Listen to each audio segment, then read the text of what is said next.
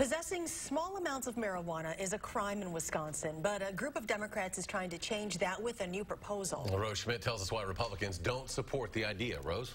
In Wisconsin, people who are African American are arrested for marijuana possession at least four times the rate of people who are white. A new Democratic bill aims to address that and level the playing field, but it's unlikely to pass with Republicans in control of the state legislature.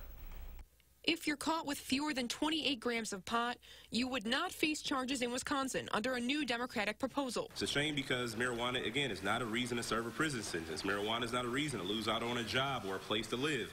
It's not a reason to lose out on an opportunity to go to school or get financial aid. Lieutenant Governor Mandela Barnes and Democratic lawmakers unveiled a new plan Wednesday to decriminalize marijuana, saying it will break down barriers and decrease racial disparities in the criminal justice system. It is absolutely wrong and disingenuous to continue continue this needless cycle of discriminatory enforcement of state laws that prop up the system of mass incarceration. How do you feel about decriminalization of marijuana?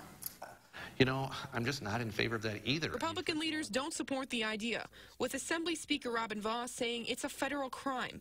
And in Wisconsin, local district attorneys can decide whether to issue charges for marijuana possession. We're certainly not going to prohibit that, but at the same time, I don't know if it's right for us to make a policy decision statewide that using an illegal drug just simply becomes something now where it's not a serious crime. Throughout Dane County, if we encounter somebody uh, for no other criminal charge who's smoking a doobie in their backyard, um, we're not going to arrest them for possession. Dane County Sheriff Dave Mahoney says locally the DA sets a threshold for whether to charge someone, but offenders only tend to be prosecuted if they have larger amounts in higher grade, with the sole purpose of selling that marijuana. We don't have the law enforcement capacity to go out and enforce simple possession of marijuana.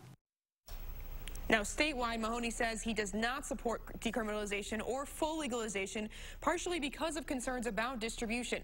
Mahoney is open to medical marijuana, as is Vos. Senate Majority Leader Scott Fitzgerald says he is long opposed to decriminalization and doubts the latest bill will win support among Republicans. Rose